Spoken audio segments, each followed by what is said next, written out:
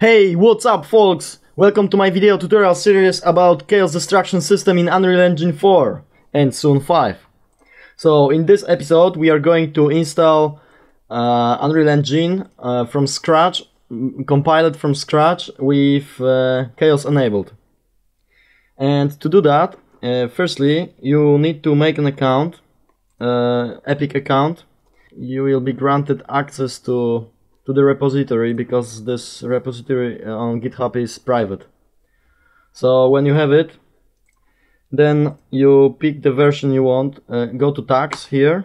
You want version between 4.23 and 4.26. So this is the first version of Unreal Engine with Chaos. Let's choose something like for example 4.26.1, yeah, why not? And just click code, download zip file. Yeah, I will post a link to this page uh, in the description. So when downloading is finished, then move the zip file to your location, whatever you choose, but make sure that you have like 200 gigabytes free because it's gonna take a lot of space. When extraction is finished, go inside that folder go to um, engine source and edit uh, UE4 editor target CS file. Because we need to change a couple of things right there. Well it depends on version of Unreal Engine that you downloaded. Uh, if you go to that play page I will post it in, uh, in the description uh, copy these two lines and add it here but only if you have Unreal uh, 4.24 or later. Uh, don't uh, don't use it if you have 4.23 and one more thing if something doesn't work you might want to change this to unique just unique uh, instead of shared. But it's for 4.25 I think. Don't use it with 4.26 definitely uh, because it doesn't work so uh, with our changed file save it and we have to run this file setup. It's gonna download everything which is necessary. So again we have to wait. I will pause the video. Okay when this is finished we could just uh, run this but if we want a Chaos Destruction demo which is a really nice sample project made by Epic Games then uh, let's open launcher. Go to learn tab. Find chaos destruction demo. Create project. Uh, let's pick folder for that. Make sure that uh, you choose the correct version because otherwise it might work but not as it should. Alright and let's create it. Yeah I choose this folder but we will have to move this uh, right there. Okay done. So when we have it uh, just copy this folder into the one that you extracted. It already is like 41 gigabytes. So uh, now we have to run generate project files and then we can compile it. Yeah, it doesn't take long. Uh, yeah, so we are done. Now open uh, Visual Studio project file. I use 2019 and it works very very well but uh, I've read that for uh, older Unreal Engine versions it's better to use 2017 well I use 2019 for for everything and it works. You just need to update um, some libraries or something but it works. Okay when we have it make sure that there is development editor. Uh, choose both projects and right click uh, build selection. And this process can take some time well depending on your machine. Uh, if you have a decent computer then it might take like 15 to 20 minutes.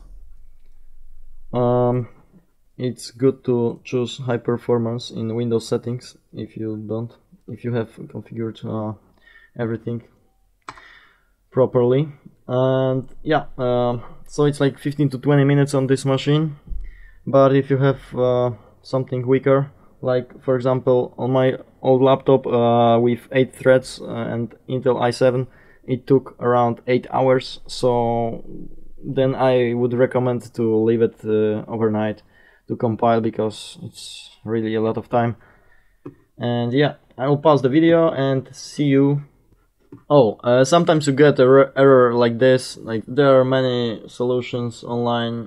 Well I was looking for them sometimes but uh, like the simplest one is just to build it again because Visual Studio is not going to compile everything from scratch but like uh, continue. So uh, if you got this error just uh, click build one more time or twice and it should be fine.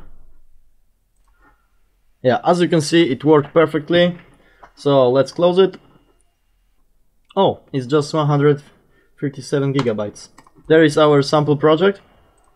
And if you want to run Unreal Engine itself it's uh, in engine binaries win64 UE4 editor we can pin it or something. Yeah.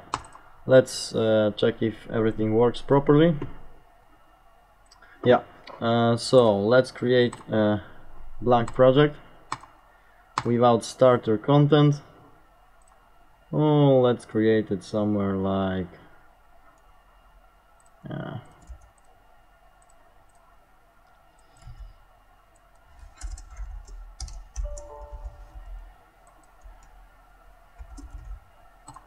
Yep. Alright. So you should have a tab fracture, fracture mode in here. Uh, but we should check plugins. So chaos. Okay, everything works. Uh, yeah, this is uh, refactored in uh, 426, so uh, it's disabled field system. Oh it's disabled. So let's enable it.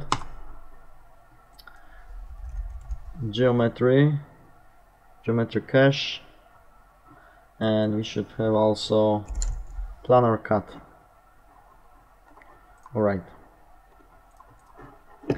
Um, basically the full list of plugins that should be enabled is uh, on this website. I will post it in the description uh, yeah we checked all of them. And so the field system was disabled.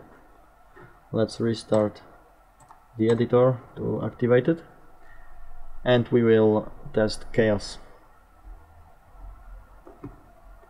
Okay. Drag and drop cube into the scene. Uh, open fracture mode. Click new uh, when you have cube selected to create new geometry collection from the cube. I will explain it later. And right now it's uh, it should work, but it's pretty boring. So let's fracture it. Yeah. Great. Yeah. So everything works. Uh, well, not everything, but chaos works. We didn't test everything, but yeah, we can actually uh, see the sample project. So uh, I'll just check whether uh, this one. Well you don't have to do it if you don't have so many Unreal engines. Uh, but if, if you have more than one then you should pick the new one. And now I can open it.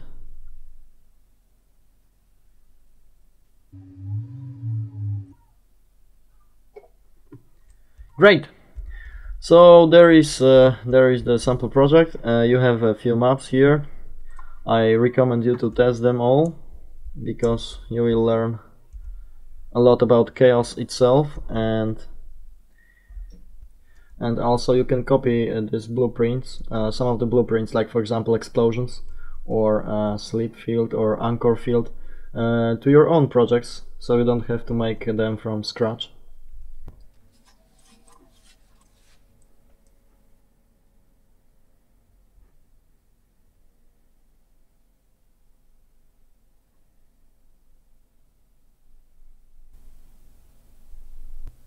Ho ho ho.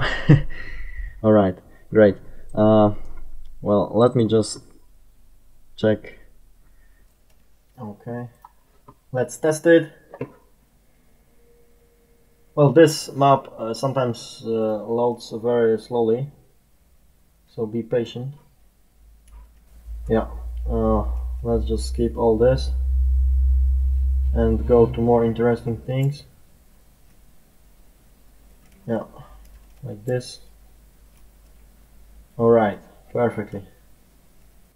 So fields are working properly. Yep, that's the thing. Uh, the cache simulation feature doesn't work in 4.26.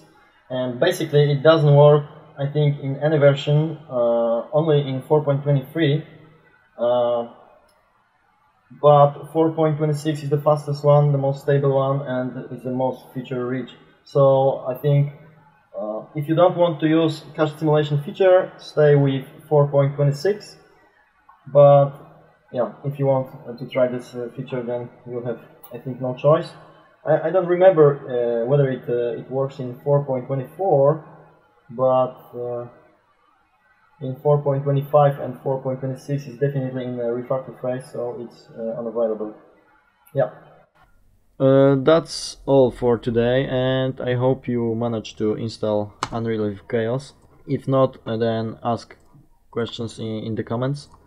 And good luck! If you like the video, like, post a comment, subscribe and stay tuned for next videos.